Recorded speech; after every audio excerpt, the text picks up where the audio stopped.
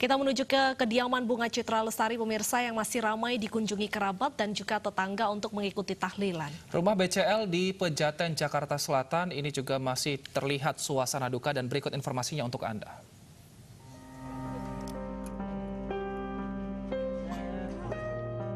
Duka begitu terasa menyelimuti keluarga almarhum Asraf Sinclair.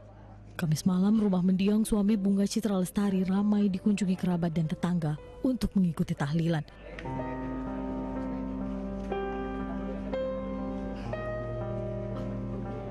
Di kediaman almarhum, juga masih terlihat deretan rangkaian bunga ucapan bela sungkawa dari keluarga hingga sahabat terdekat.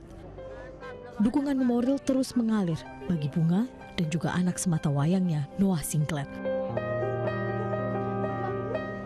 Kau ya. Semua orang tahu uh, orang yang merasakan kehilangan pasti sedih, cuman yang tadi aku lihat uh, kawannya masih tegar masih kuat cuman ya di sisi dalamnya kan kita nggak tahu. Cuman kalau depan-depan orang-orang masih ketawa-ketawa lah masih happy. Ya, sosok uh, almarhum orang yang baik ya ramah gitu sama yang lain juga. Uh, nggak banyak sih cuman bilang turut berduka sabar tabah cuma gitu aja. Karena nggak enak juga banyak ngomong kan tamunya banyak juga tadi kan. Cuman kayak gitu aja sih tadi. Tapi terlihat masih sedih kah atau iya dong iya ya sedih lah. Masih hari ini ya ketiga yang pasti masih suasana berduka lah ya. Semuanya juga masih sedang memproses karena kan pada saat ditinggalkan almarhum juga masih dalam keadaan sehat. Jadi semua juga masih dalam tahap percaya nggak percaya dan mencoba mengikhlaskan. Tapi alhamdulillah sih uh, bunga dan Noah juga karena um, dukungan keluarga uh, sejauh ini sih yang aku lihat tegar. Almarhum orang yang sangat baik gitu. Jadi di saat uh, kita syuting kalau kalau udah pada bete semuanya selalu yang bisa uh, apa ya udah kayak mood booster kita semua sih jadi kalau udah lelah selalu yang bisa bikin kita ketawa tuh ya ya Asraf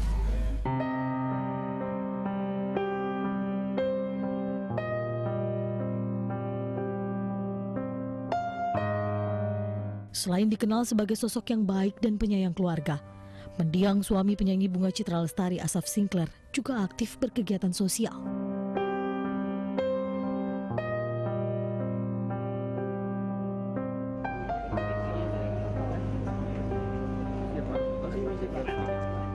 Asraf merupakan donatur tetap di Yayasan Yatim Piatu di kawasan Pejaten, Jakarta Selatan. Secara rutin, Asraf memberikan bantuan berupa uang atau beras kepada 78 anak yatim. Sudah empat tahun terakhir, Asraf menjadi donatur tetap di Yayasan Yatim Piatu Darul Rahman.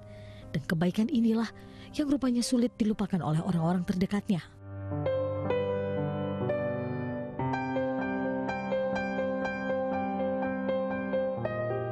Asaf Sinclair hembuskan nafas terakhirnya di usia 40 tahun pada Selasa 18 Februari lalu dan dimakamkan di Komplek Pemakaman San Diego Hills, Karawang, Jawa Barat.